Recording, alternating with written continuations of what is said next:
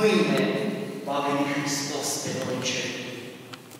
Câți și-ar lăsat meciul de fotbal sau câți și-ar lăsat problemele casnice să vină să ne întâmpine pe Hristos? Ei, astfel de valoare eu n-aș vrea să o văd într-o societate ortodoxă, într-o societate care urmează Sfinților Părinți. Și atunci este normal să atacăm din când în când aceste principii uh, laicizate, secularizate, uh, aceste principii apocaliptice. Și vă citesc iar despre uh, tot din prima carte, cât de interesant sună uh, acest lucru. Deci sistemul nu cunoaște dorința de a dori omului libertatea de plină și doar un aparent. El are scopul de a-l anihila pe om prin determinare la compromis. Omul, făcând parte din social, este determinat de acesta și îi propune un permanent compromis. Crezând într-o libertate aparentă, se compromite cu aceasta ieșind dintr-un us al firii, care îl menținea într-o conștiință a valorilor. Drumul decadent al situației pare firesc și fără pericol. În schimb, libertatea, ce nu reprezintă însă știrea libertății, aș completa eu în Hristos și în biserică și în legea lui Dumnezeu, constrânge la un compromis prin ușănarea așteptărilor și a realității, punându-l pe om în fața unui accept inconștient și devastator.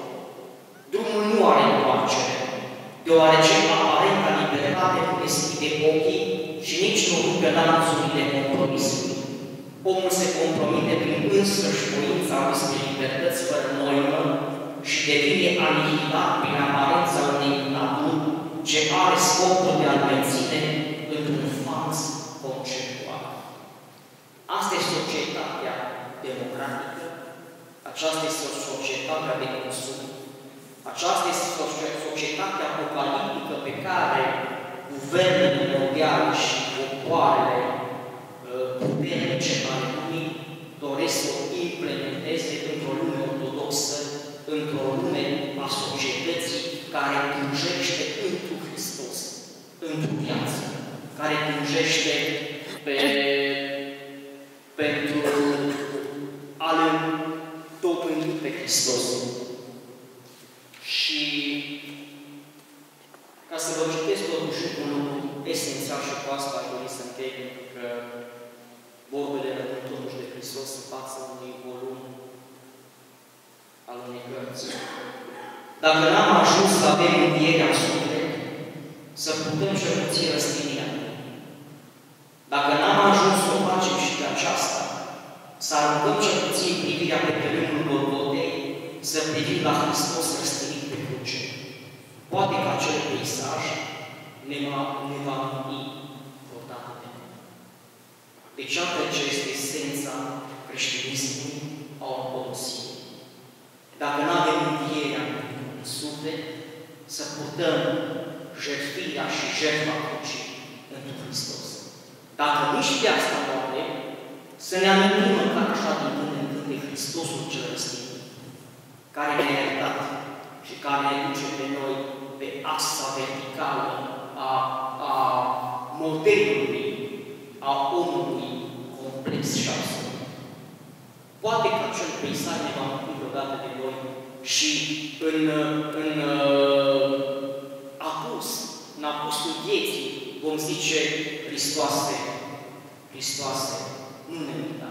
Exact cum a spus Harul din dreapta, care n-a apucat să se pocăiască, dar a avut compătimire față de Hristos. Și a zis, omenește-mă, Doamne, când vei veni cu împărăția mea. Să mă iertați dacă veți cumpăra cartea și veți citi și veți găsi uh, lucruri vulgare, cuvinte vulgare la adresa prostiei și a indecimității. La adresa unor lucruri pe care Biserica le condamnă ca fiind neveritice unei lumi cu Hristos.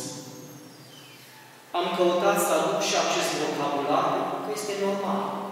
Nu există cuvântul indecimitate, nu există cuvântul abjecție, abominabil, curvie, prea curvie, demență, meschin, imoral, într-adevăr, puse în această carte, bineînțeles, pictuite, scritoricește, ca să nu jenez uh, atât de puternic,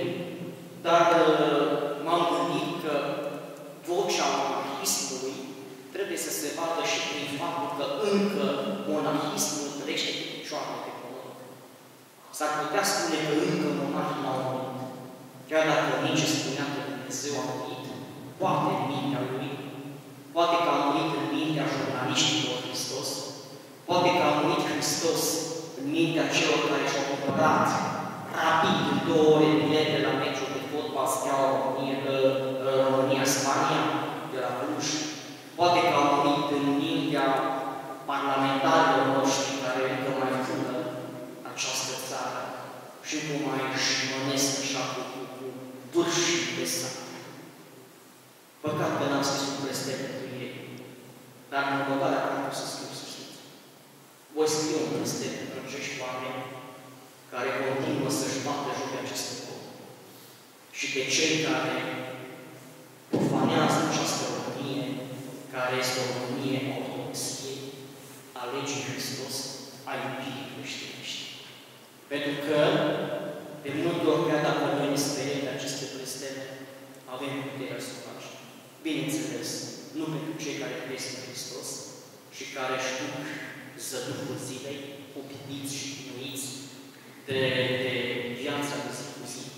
Dar cred că este și prin această carte încă un lucru, ca să spun, am încercat să atrag atenția celor care vor să revie acel spirit al, al rotunismului și al ortodoxiei, să nu plece capul. De ce n-am citat foarte mult din uh, Sfinții Părinți? De ce n-am căutat să, uh, prin ceea ce am uh, titluit aici? Pentru că este o carte bună. Dacă veți citi printre fraze, veți vedea că este scrisă cu putere. De ce? Tocmai să nu lasă o interpretare. Și nu se poate să lăsăm o interpretare, pentru că nu merită. Ortodoxia își are dreptul ei, își are adevărul, își are dreptatea. Ortodoxia este aceea care îl, îl arată pe Hristos golgoluț în, în această mirobolantă lume a științei și a tehnicii, care împrește crucea lui Hristos și crucea Întul Hristos. Și atunci era normal ca noi, monahii, să, să-l aducem așa cum trebuie să-l aducem pe pământ. Cu promptitudine. Ortodoxia este singura care mântuiește. Catolicismul nu mântuiește. Reformații nu mântuiesc. Luteranii nu mântuiesc. Budiștii nu mântuiesc. Am atacat ecumenismul. Am atacat toate formele de religiozitate care țin pe lângă Hristos. Nu există așa ceva. Sigur că acum contemporanitatea spune poate că toate credințele mântuiesc. Nu. Teologi și teoretic, după Sfânta Scriptură, nu mântuiesc. Că spune Hristos. Zice, cine va crede și se va boteza, se va mântui, iar cine se va osni. Cine nu va mânca din trupul și sângele Fiului omului, nu va avea viață. Cine nu se va naște din apă și din Duh, nu va intra în Împărăția lui Dumnezeu. Noi de ce să credem că toată lumea se mântuiește? De ce să punem noi să dăm noi mâna ca și uniceful, așa, spiritual, cu toate credințele lumii? Nu. Un domn, o credință, un puteți. Eu sunt calea, adevărul și viața de știu Hristos. Și atunci, iată de ce iară glasul monahului vine și spune Ortodoxia este singura biserică care păstrează dogma și învățătura după cele șapte siloane biblice, după propovădirea Evangheliei Hristos Sfinților Apostoli și Ucenici. Și iată că 2000 de ani încă Ortodoxia rămâne cu bune, cu rele, dar rămâne cu adevărat slujitoare altarul lui Dumnezeu. Vă mulțumesc din suflet și mulțumesc uh, Părintelui Sebastian și uh, domnului uh, Scriptorii Mustene. Mulțumesc domnului director de la Sticla, care a avut inițiativa și a propus și a vorbit cu Părintele Sebastian să facem această lansare a cărții. Sigur că sunt un nume care nu are rezonanță, nici nu, nici nu informă ce spune. Nu este important. M-aș bucura dacă ați putea să citiți și dacă ați putea să înțelegeți mesajul acestei cărți, care nu este prea ușor, dar nici exagerat. Eu cred că merită să încercăm să trăim așa cum Hristos ar dori să trăim pe pământ, într-un Hristos, obilit, umil, dar cu demnitate și cu noblețe. Vă mulțumesc de suflet și Domnul voastră pentru